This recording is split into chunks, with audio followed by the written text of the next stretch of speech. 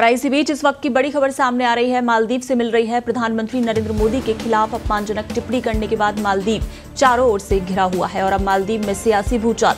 राष्ट्रपति मुर्जो के खिलाफ अविश्वास प्रस्ताव लाने की तैयारी। वहीं टूरिज़्म एसोसिएशन ने भी इसकी आलोचना की है। पीएम के खिलाफ जो कड़े शब्दों का इस्तेमाल किया गया, जब भी संकट आया है, भारत ने हमेशा मालदीव की मदद की है। अब भारत से माफ़ी मांगे मालदीव सरकार। तो भारत की ताकत को नजरअंदाज करना मालदीव पर भारी पड़ सकता है। क्योंकि आपको बता दें कि मालदीव का विपक्ष भारत के साथ रिश्तों में खटास लाने के लिए वहाँ की सरकार को ही दोषी ठहरा रहा है और राष्ट्रपति मुर्जू के खिलाफ अविश्वास प्रस्ताव लाने की तैयारी चल रही है।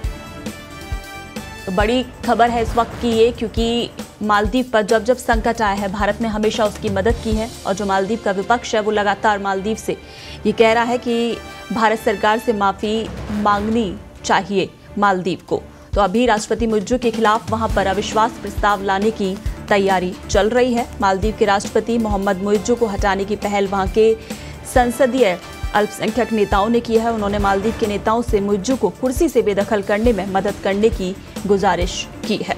उन्होंने कहा है कि हमारी मालदीवियन डेमोक्रेटिक पार्टी मालदीव की विदेश नीति में स्थिरता बनाए रखने के लिए प्रतिबद्ध है। हम किसी भी पड़ोसी देश को विदेश नीति से अलग थलग नहीं करने देंगे। उन्होंने अपनी पार्टी के शीर्ष नेताओं से पूछा है, क्या वो राष्ट्रपति मुर्जू के खिलाफ अविश्वास प्रस्ताव लाने के लिए तैयार है? तो आपको बता दें कि भारत से पंगा लेना मालदीव को भारी पड़ता दिख रहा है। बड़ी तादाद में पहले ही भारतीय पर्यटकों की बुकिंग कैंसिल होने और ट्रैवल कंपनियों के विरोध के बाद अब मालदीव की टूरिज़्म एसोसिएशन ने भी अपने मंत्रियों के बयानों की आलोचना की है। Maldives association of tourism industry ने भी बयान जारी करते हुए कहा है कि वो भारतीय प्रधानमंत्री और भारत के लोगों के खिलाफ अपने मंत्रियों की टिप्पणी की निंदा करते हैं। और इतना ही नहीं, मालदीव टूरिज़्म एसोसिएशन ने यह भी कहा कि भारत हमारा निकटतम पड़ोसी और सहयोगी है। और इतिहास में जब भी हमारा देश संकट से घिरा है तो सबसे पहले भारत की तरफ़ से ही प्रतिक्रिया आई है। तो सरकार के साथ साथ हम भारत के लोगों के भी आभारी हैं कि उन्होंने हमारे साथ इतने घनिष्ठ संबंध बनाए हैं। भारतीय प्रधानमंत्री पर बयानबाजी के बाद मालदीव के पूर्व उपराष्ट्रपति अहमद अदीब का भी बयान सामने आया। और उन्होंने मालदीव की सरकार से कहा है कि उन्हें भारत से माफ़ी मांगनी चाहिए। तो ये बड़ा अपडेट इस वक्त का मालदीव पर भारी पड़ता नज़र आ रहा है।